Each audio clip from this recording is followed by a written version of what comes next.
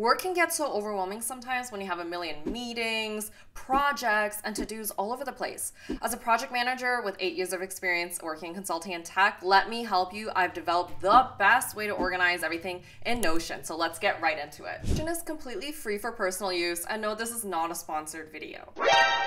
Before I discovered Notion, I was using like a million apps to keep track of everything like OneNote, Google Docs, Airtable, Trello, like all the different apps. And now with Notion, it's super easy to use and very flexible, so you can customize it to whatever your needs are. I'm gonna show you my template as a starting point and how you can customize it and what I use my template for. So let's get started. Welcome to my Get Shit Done dashboard. I'm gonna scroll top to bottom, show you the different sections that I have, and then dive into each section to show you any cool tips and how I use them. So on the left, I have quick links, general to-dos, and on the right, I have my weekly agenda. At the bottom of this page, I have all my meeting notes. So weekly agenda, this is how I schedule all my notes for every week and my to-do lists. In my to-dos, I have it broken down by day of the week and they're all collapsible. So if you finish one day, you can close it off and look at the rest of the days. The bottom, I also have a miscellaneous notes section that don't fall under any specific meeting notes, just so I can capture them somewhere and refer back to them. Now, there's a really cool feature that just came out, I think last November, which is repeat default. So instead of creating this page every week by copying it and duplicating it, you can ask Notion to automatically do that for you. And this is how you do it. So you want to go to New Template and you want to edit your template and click repeat on. Now, I would recommend doing it every Monday at 9 a.m. so you can have it uh, ready for whenever you start your day. I'm not going to save it for this one because this template is for everyone to duplicate. And if I turn it on, it's going to create entries for every week. So don't forget to do that on your own template. On the left-hand side, I have quick links. So examples could be any nested project pages, documentation, specific initiatives that I need sub pages in Notion. I'll nest them under this quick link section. You can also put any high level information like your username if you use it often, a specific URL that you need, anything like that.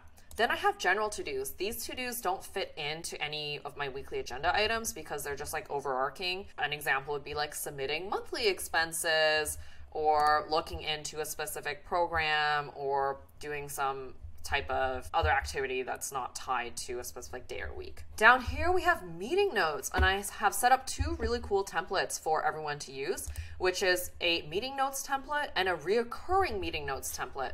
As a project manager for the last eight years, I know a couple things about meeting notes, so I highly recommend using these two templates. So I'm gonna show you what a recurring weekly status would be so, recurring weekly notes is anything that happens ongoing. So, if you meet weekly, monthly, bi weekly, you don't want a new line for every single meeting. You want to have them all together so you can collapse and scroll.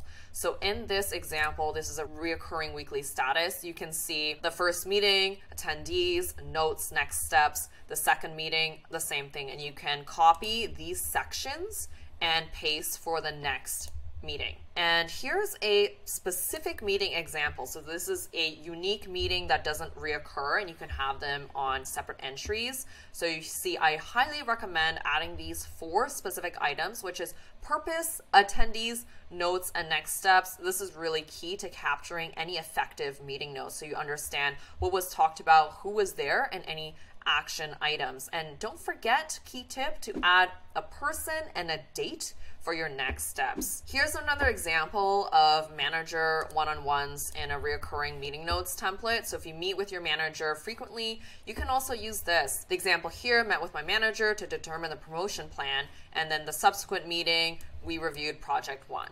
So feel free to use this flexible template for anything you want.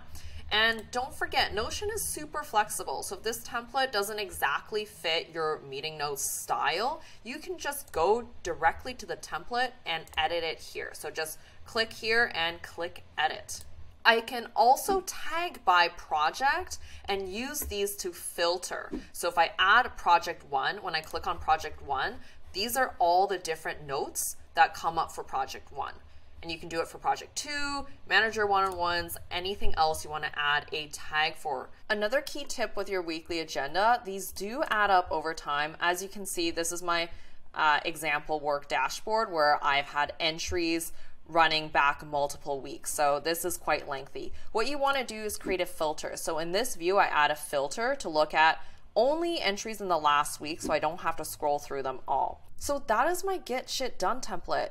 Don't forget, Notion is super flexible. You can add or remove any sections you don't want or sections that you really want because of your specific project needs and working style. Click in the description below for the exact link to download this template and duplicate it and add to your Notion. Thanks for watching my video. I hope you learned how to use Notion to organize everything at work and let me know in the comments if you have any questions or feedback about my template.